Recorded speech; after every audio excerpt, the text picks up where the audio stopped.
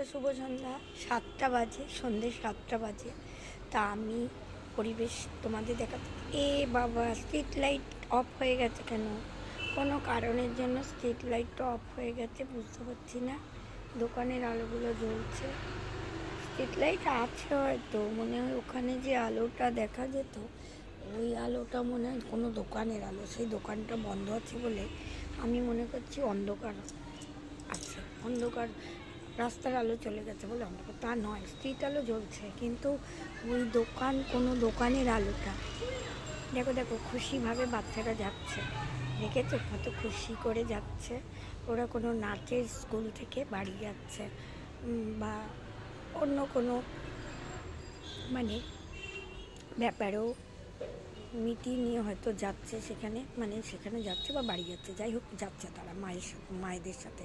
এবার তারা কত খুশি শিশু বয়সে এই যে খুশি ভাব, এইগুলো আমাদেরও ছিল। ছোট বয়সটা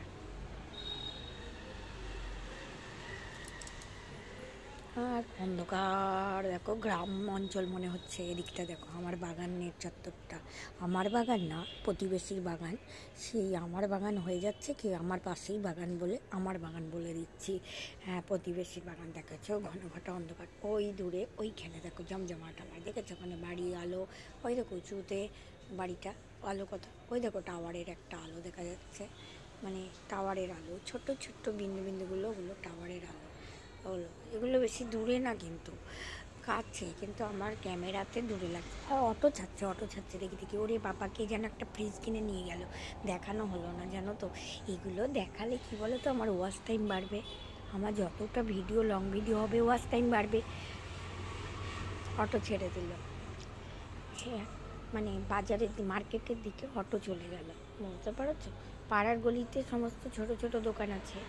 আর অটোয় করে যাওয়া যাবে পুরো market, Behala market, Behala wholesale market, Vidyasagar hospital, সব পাওয়া যাবে। এরকম সব পাওয়া যায় বেহালা হোলসেল মার্কেটে সব কিছু পাওয়া যায়, সব কিছু। কী না পাওয়া যায়?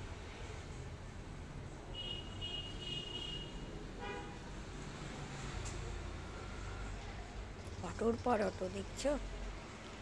এই সন্ধ্যের সময় একটা মানে প্রচুর জমজমাট রাস্তা মানে অটো চলতেই থাকবে চলতেই থাকবে। কারণ সবাই বাড়ি ফিরছে, অফিস ফেরত যাত্রী বাড়ি ফিরছে অটোই করে বেশিরভাগ, আর বাইক তো তার সাথে আছে। বেশিরভাগ অটোই চলাচল করে। তারা যারা দূরে মানে মহিলারা বিশেষ করে অফিস ফেরত মহিলা, পুরুষ, সবাই প্রায় অটোই করে বাড়ি ফেরে। অনেকে আবার মার্কেট করতেও যায় এই সন্ধ্যের সময়, তারাও বাড়ি ফেরে। যেমন আমি গেছি বা এরকম সময়তে, ওই যে আবার ভর্তি করে যাচ্ছে, দেখো। এমন নয় যে এই বাড়িতেই সবাই আসছে, আবার প্রয়োজনে মার্কেটের দিকে যাচ্ছে। আবার সে কথা বলতে, যেদিকে বাড়ি, সেদিকেও তো লোকের, সেদিকেও অফিস আছে। এমন নয় যে এদিকে শুধু বাড়িই আছে। যেদিকে বাড়ি যাওয়ার কথা বলছি, সেদিকেও অফিস আছে। মানে আমার ক্যামেরার ডান দিক বাম দিক দুদিকেই বাড়ি অফিস মিশিয়ে আছে। এইরকমটা বলছি। কোনো অফিস তো থাকতেই পারে। একটা অফিস বলতে কি বোঝায়? সরকারি অফিস এরকম নয় কিন্তু। তা মানে নানা রকম অফিস হতেই পারে। ব্যাংক পরিষেবা তা ব্যাংক নাই, রাত হয়ে গেছে। ঠিক আছে, অনেক সময় ব্যাংক সাতটা অবধি তাদের কাজকর্ম করতে সাতটা বেজে যায়। তাছাড়া কোনো শপিং মানে শোরুম হ্যাঁ শোরুমে কোনো গিফট সেন্টার অনেক রকম। এগুলোকেও তো চাকরি বলা যায়। চাকরি সবগুলোকেই বলতে হয়। মানে পরের থেকে যা টাকা উপার্জন করব সেটাই কিন্তু চাকরি। আর ঘরের বউ আমরা যারা, আমাদের জন্য চাকরির একটা সুরাহা শুনেছি, চাকরি করা বোঝায়। কিন্তু আমাদের যে ইনকাম মানে বরের থেকে কোনো টাকা পাওয়া, এই পাওয়াটাকে চাকরি বলে না। মানে আমরা ঘরের থেকে ঘরের টাকা পাচ্ছি, এটাকে চাকরি বলে না। কিন্তু আমি ইকোনমিক্সে পড়েছি বলে এই কথাগুলো বলছি, কারণ ইকোনমিক্স পড়ে ইকোনমিক্স নিয়ে আমি গ্র্যাজুয়েশনে পড়েছি, তার জন্য এই কথা। পরের থেকে যে উপার্জনটাই হোক না কেন, এক টাকার উপার্জনও সেটা চাকরির পর্যায়ে চলে যাচ্ছে। মানে এক টাকা উপার্জন যদি করে থাকে কেউ, পরের থেকে হ্যাঁ পেশাগত হিসাবে, পেশা, নেশা তো কেউ করে টাকা ইনকাম করতে যায় না, নেশার জন্য কেউ যায় না। পেশা পেশা, যেটাকে বলে পেটের জন্যে পেটের জন্যে, পেটের দায়ে যারাই উপার্জন করতে যায়, তাদের সেটা চাকরি বলা হয়। আর তার থেকে তারা ইনকাম করে সেই টাকা দিয়ে তারা দৈনন্দিন মানে যে খরচ লাগে সেটা খরচ করতে পারে। আর সেখান থেকে যে পারিশ্রমিক পায় সেটাই হলো চাকরির মূল্য। চাকরি করা বোঝায়। সে যেখানেই করুক সে, সেই সেই, তার চাকরি সেটা।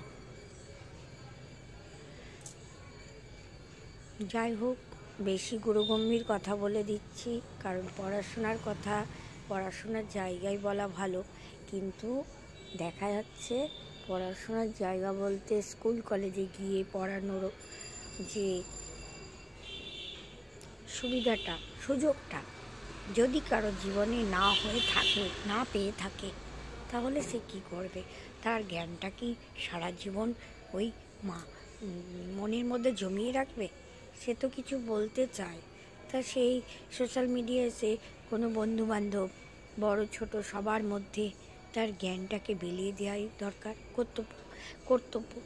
অনেকে তো হয়তো অনেকে মানে অনেক কিছুই জানে, জানতে নাও পারে। আবার অনেকে অনেক কিছু জানে। যে জানে, তার কাছে আমার কথাটা প্রয়োজনীয় নয়। যে জানে না, হয়তো তার কাছে আমার কথাটা খুবই প্রয়োজনীয় হতে পারে। যে দিদি বলছিল, কথাটা দেখি তো, কোনো অভিজ্ঞ লোকের কাছে যাচাই করে। সঠিক বলছেন কি না আর আমি যদি সঠিক নাও বলি, তোমরা আমাকে মানে কি বলবে? না না জেনে না বেঝে দিদি বলছে। এটাই মনে করো তোমরা। আমি তবুও তোমাদের কাছে আমার ওয়াচ টাইমটা বাড়ানোর জন্য আমি অসহায় হয়ে পড়েছি। তাই তোমাদেরকে অসহায় হয়ে এই ভিডিওটা শেয়ার করছি, করলাম। তোমরা আমার পাশে থেকো। শুভ সন্ধ্যা আগের থেকেই জানিয়ে দিচ্ছি, কারণ হাজব্যান্ড অফিস থেকে বাড়ি আসবে, কিছু কেনাকাটা করবে বলে এই রাস্তা দিয়ে আসবে। তাই আমি দেখলাম, ওনার জন্য যখন দাঁড়িয়ে আছি, অপেক্ষা করছি, আসছে দেখব, আর এদিকে গাড়ি টাড়িগুলো দেখব, একটু তো ঘরের মধ্যে আটকাচ্ছি, মানুষজনকে দেখলে একটু ভালো লাগবে।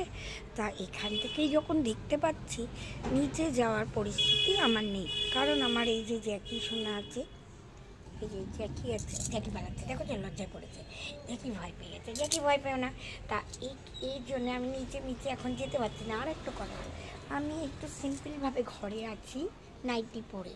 বাইরে নিচে যেতে হলে আমি একটা বয়স্ক মহিলা, ভালো করে একটু শাড়ি টাড়ি পরে যেতে হবে।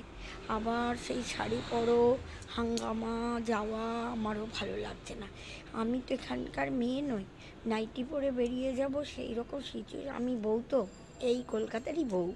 সে যে পাড়ারই হোক এ পাড়ার ও পাড়ার বউ। ও পাড়াতে বউ এ পাড়ায় এসে আছি। এরকম কলকাতা মানে এটা। পাড়াগুলো অনেক দূরত্বে এক ঘণ্টার হ্যাঁ, এখান থেকে যাদবপুর এক ঘণ্টা। পঁয়তাল্লিশ মিনিট বাসে লাগে। চল্লিশও লেগে যেতে পারে। সব মিলিয়ে পঁয়তাল্লিশ। তাহলে আমি এ পাড়ার বউ ও পাড়ার ও পাড়ার বউ এপারে এসেছি। তাহলে আমি বৌমা বউ আর কি। তাই জন্যে বলছি, আমার নাইটি পরে বাইরে যাওয়াটা আমার রীতিতে, আমার পোষায় না, আমার রীতিতে না, আমার পোষায় না, আমার লজ্জাবোধ লাগে। কারণ আমি সেই যে বিয়ে হয়ে এসে শাড়ি পরে বাইরে যাব, ওই রেওয়াজটা আমার মধ্যে রয়ে গেছে। এখনকার মডার্ন সমাজে এগুলোকে উপেক্ষা করে। তাই বলে এমন নয়, নাইটি পরে সবাই বাইরে চলে যায়। সে তো আমি দেখতে পাই না কাউকে। এখান দিয়ে আমি রাস্তায় এত লোককে দেখি, চুড়িদার পরে সবাই যাতায়াত করে। নাইটি পরে কাউকে চলতে দেখি না। এগুলো গ্রামে কালচার আছে, কিছুটা আছে। নাইটির ওপর গামছা জড়িয়ে চলে যায়। কিন্তু হ্যাঁ তোমরা একটা বিশেষ কথা শুনে রাখো। যেটা বিশেষ কথা, সেটাই টাইটেল থাম্বেলে আমি দিয়ে দেবো। শহর কলকাতাতে বেশিরভাগ আমি খুব জমজমাট এলাকায়। আমি অন্য গলির কথা বলছি না। তবে গলিগুলোতেও তো দেখেছি। আমি ওই দেখো, এক্ষুনি একটা চুড়িদার পরা বউ গেল। সবাইকে আমি দেখি চুড়িদার পরে মার্জিত হয়ে সুন্দরভাবে বেরোচ্ছে। এমন নয় নাইটি পরে যাচ্ছে তাই করে বেরিয়ে পড়েছে বা গামছা গায়ে দিয়ে বেরিয়ে পড়েছে। বিকেল বলো, দুপুর বলো, সকাল, বিকেল, দুপুর, সব সময়তেই আমি সুন্দর মার্জিত ড্রেস সব মেয়ে মেয়ে বউদের মধ্যে দেখতে পাই মেয়েরা এখনকার দিনের অল্প বয়সী মেয়ে বউ জিন্স প্যান্ট কুর্তি এসব পরতেই থাকে। পরুক সব মার্জিত ড্রেস কিন্তু নাইটি পরে, বিচ্ছিরি করে, ঘরে শোয়ার ড্রেস পরে, গামছা গায়ে দিয়ে ওরকম কেউ বেরোয় না। সবার মধ্যেই লজ্জাবোধ আছে কিন্তু শুধু যে আমার আছে তা নয়, আমি দেখতে পাই না। নিতান্ত নিচে, আমাদের বিল্ডিংয়ের নিচে যদি কেউ যায় নাইটির ওপর হাউস কোট চাপিয়ে নেয়। কেউ ওপেনলি নাইটি পরে বেরিয়ে যায় না। আর কোনো বিপদ, বিপদের সময় তো মানুষের কোনো মাথাটি ঠিক থাকে না, সেই সময়টা আমি ধরছি না। এমনি কোনো ক্যাজুয়াল কাজের জন্য যদি নর্মাল একটা কোনো দরকারে যায় হাউস কোটটা চাপিয়ে নিয়ে যায়, আর বেশিরভাগই শাড়ি পরে বয়স্করা, যারা অল্প বয়সী জিন্স কুর্তি এগুলো, ওই দেখো চুড়িদার পরে চলে গেল। চুড়িদার পরে সুন্দরভাবে এখানে চলাচল করে। আমি মেয়েদের কথা বলছি, ছেলেদের কথা বলছি না। হ্যাঁ কিশোরী মেয়েরা হাফ প্যান্ট পরছে স্টাইলিস্ট ব্যাপার, সেটা অন্য কথা। হাফ প্যান্ট খুব কম দেখি এগুলো, আমি এখানে খুব কম দেখি। আর যেগুলো দেখি, সেগুলো প্রচুর আপ টু ডেট যারা, তারা এগুলো পরে হাফ প্যান্ট পরে, কিন্তু অল্প বয়সী মেয়েদের দেখি। একটা পঁয়ত্রিশ বছরের মহিলাকে আমি দেখি না হাফ প্যান্ট পরে কলকাতায় চলাচল করছে। আমি কাউকে দেখি না, কাউকে না। না উচ্চবিত্ত, না মধ্যবিত্ত, না নিম্নবিত্ত। একদম কিশোরী বয়স, একটু মডার্ন বাবা মা সাদ করে তাকে পড়- পড়াচ্ছে। সেইটা তার একটু ছোল- বয়স সে তো সেই সময় তাকে ছেলে না মেয়ে কোনো প্রভেদ তার মা বাবা করতে দিতে চায় না। অনেকে জানো তো, ছেলে নেই বলে মেয়েকেও এরকম ড্রেস পরিয়ে ছেলের স্বাদটা পুষিয়ে নেয়। তার জন্য সেটা আমি ওই দেখো শাড়ি পরে এক ভদ্রমহিলা কি সুন্দর জড়ো হাত করে চলে গেল। মানে উনি তো শহরের মহিলা। উনি দেখো তার মার্জিত ড্রেসটা দেখেছ? এমন নয় যে সে যাচ্ছে তাইভাবে মার্কেটের দিকে যাচ্ছে বা কোনো কাছেপিঠি দরকারে যাচ্ছে।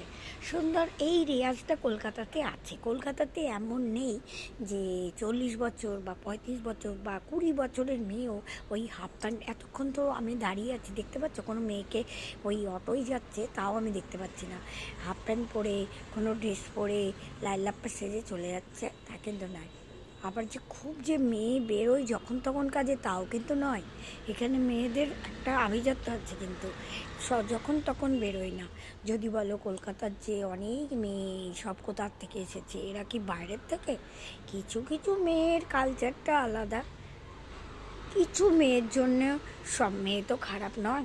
কিছু মেয়ে তাদের সাংসারিক অসুবিধার জন্য লাইলাপ্পা করে বেড়ায়। অসুবিধা বলতে বয়ফ্রেন্ড ধরে বেড়ায়। মানে সেখান থেকে কোনো উপার্জনের আশাই হোক, যাই হোক বয়ফ্রেন্ড তাদের থেকে থাকে। সাংসারিক কোনো অসুবিধার জন্য বয়ফ্রেন্ড তারা ধরে। এবার নিজের আত্মিক শান্তির জন্য ধরে। দৈহিক শান্তি, আত্মিক শান্তি, এগুলোর জন্য বয়ফ্রেন্ড নিয়ে একটু চলে। সেই মেয়েগুলোর সঙ্গে আমি তো ভালো মেয়েদের তুলনা মানে একসঙ্গে আমি মিলিয়ে দিতে পারি না। ভালো মেয়েও সে পড়াশোনা করছে ঘরে আছে বা কাজের মধ্যে আছে, ভদ্র মেয়েরা, সহজে ঘরে। সব সময় দেখো বয়স্ক মহিলা লোকেরা হাঁটাচলা করছে। মেয়ে যে নেই তাই না। এই এলাকায় প্রচুর মেয়ে আছে। প্রয়োজন ছাড়া তারা বের- বেরোয় না। স্কুল, কলেজ ওই, ওইটুকুই। আবার এমনি প্রয়োজনে বেরোয়, মায়ের সাথে বেরোয়, সে বেরোবে না কেন? আবার ওই যে বললাম, কিছু মেয়ের জন্য কি সব মেয়ে খারাপ? তা নয় কিন্তু। আমার কলকাতা, সুন্দর কলকাতা, ভালো থেকো বন্ধুরা। শুভ সন্ধ্যা বলে রেখে দিলাম। পাশে থেকো, সুস্থ থেকো। আবার পরের দেবো দেখতে থাকো। আর জোর করে বলি আমার ভিডিওগুলো তোমরা দেখো।